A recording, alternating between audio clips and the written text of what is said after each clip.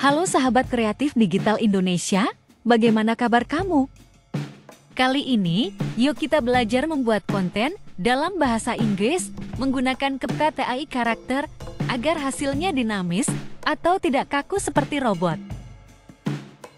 Banyak keuntungan membuat konten dalam bahasa Inggris, yaitu kamu dapat menjangkau penonton lebih banyak dari seluruh dunia. Dan kali ini, saya akan berikan trik-trik mudahnya, termasuk trik membuat jeda bicara. Pada AI karakternya seperti ini. Simak baik-baik videonya sampai akhir ya. Jika kamu tidak menguasai bahasa Inggris, kamu tidak usah khawatir. Kamu hanya perlu install aplikasi papan ketik Google di Play Store. Carilah papan ketik Google dan install. Jika sudah terinstall, lalu buka pengaturan ponsel kamu. Dan cari pengaturan masukan. Pilih metode masukan default. Dan ubah metode masukan defaultnya dengan Gboard. Trik pertama, membuat jeda bicara pada karakternya. Buka aplikasi CapCut. Dan di sini, kamu masuk ke menu CapCut standar versi Indonesia. Pilih pengaturan untuk masuk ke CapCut versi Inggris. Scroll ke bawah dan aktifkan mode kreator bisnis. Dan sekarang, kamu sudah masuk ke CapCut versi Inggris, di mana sekarang ada lebih banyak menu. Sekarang, buatlah proyek baru. Dan pilih media untuk latar belakangnya. Perpanjang dulu durasi latar belakangnya.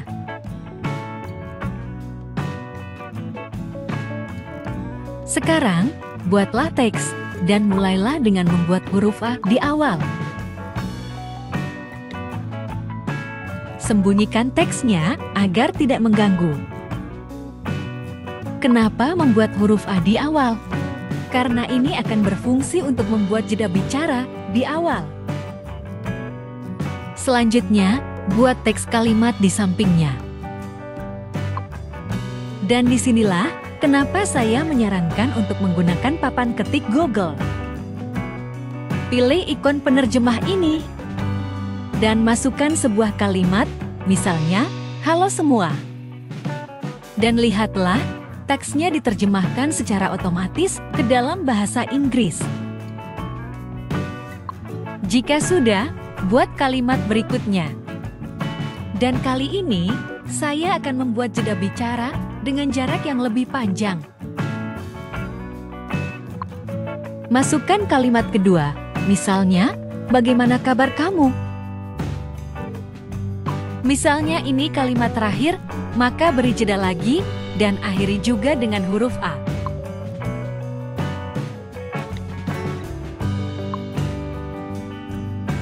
Berikutnya, rapatkan jarak antar kalimatnya seperti ini.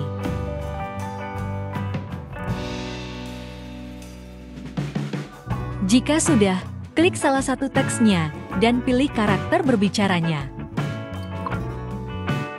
Misalnya pilih karakter ini. Tunggu proses penerapannya dan selesai. Dan mari lihat hasilnya.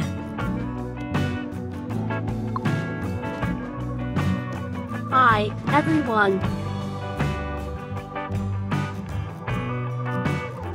How are you?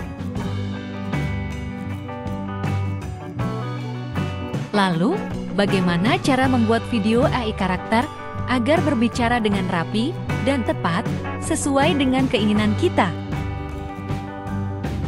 Caranya yaitu, kita cari tahu suara asli dari karakter yang akan digunakan untuk membuat video. Lakukan tes dulu, yaitu dengan membuat teks. Buat teks asal saja. Lalu, pilih menu karakter EE dan tentukan karakter mana yang nanti akan digunakan untuk membuat video. Misalnya kita akan pilih karakter bernama Easter ini. Hey, good to see you.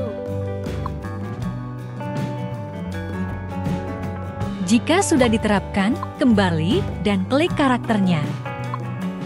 Lalu, klik menu suara ini. Sekarang kita akan cari tahu manakah suara asli dari karakter ini. Dan ketemu, suara yang sudah terpilih otomatis ini adalah suara asli dari karakternya, di mana suara dari karakter bernama Esther adalah American Female. Berikutnya, buat narasi video dengan cara membuat teks keucapan. Jangan lupa awali dengan huruf I untuk membuat jeda di awal video. Sembunyikan juga teksnya agar tidak mengganggu. Dan mulailah membuat kalimat. Misalnya seperti ini. Lalu, pilih teks keucapan. Pilih suara female dan cari suara American female. Hi, everyone. Kenapa membuat teks keucapan? Karena agar kita dapat mengukur berapa panjang durasi setiap kalimatnya. Lanjutkan buat kalimat berikutnya. Buatlah kalimat demi kalimat sampai akhir videonya, buat dan atur jarak antar kalimatnya agar terdengar lebih dinamis atau tidak kaku.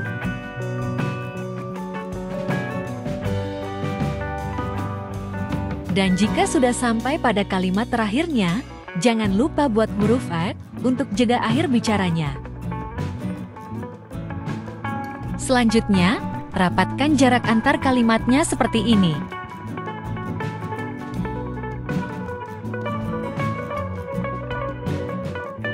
Jika sudah selesai, klik salah satu teksnya dan pilih menu karakter EA.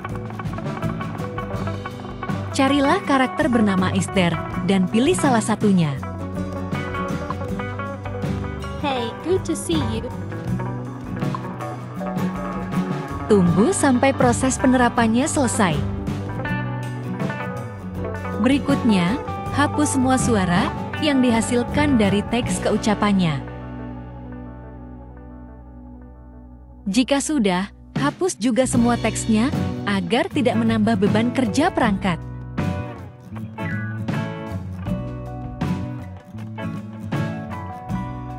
Selanjutnya, klik pada karakternya, potong sedikit di awal dan akhir untuk menghilangkan suara huruf A. Langkah berikutnya, buatlah subtitle multibahasa agar bisa dipahami untuk semua penonton. Pilih bahasa Inggris. Dan sebaiknya, jangan pilih template dulu untuk menghindari terjadinya error. Selanjutnya, pilih keterangan bilingual. Dan pilih bahasa Indonesia. Dan klik hasilkan. Setelah jadi, barulah terapkan template efek pada subtitlenya.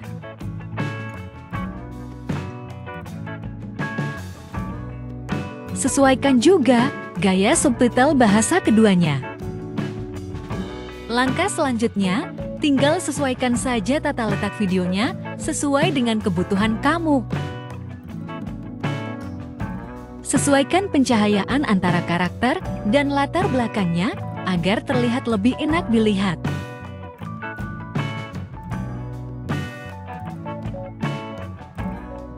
Tambahkan juga efek blur untuk latar belakangnya agar terlihat lebih mewah.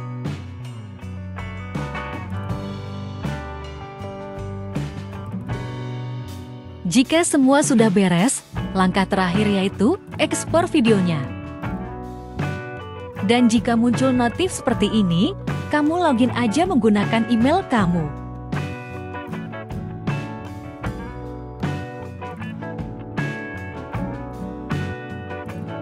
Buka kembali proyek videonya dan ekspor. Selesai, dan mari lihat hasil akhirnya. Hi, everyone.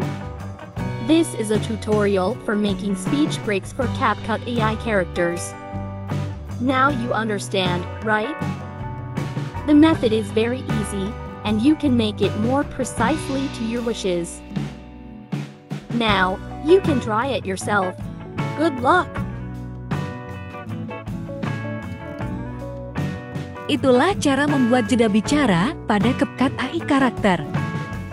Sekarang, kamu bisa menggunakannya untuk membuat video, misalnya video tutorial, seperti video-video di kanal YouTube saya ini. Bisa juga untuk membuat video berita, video cerita, dan lainnya.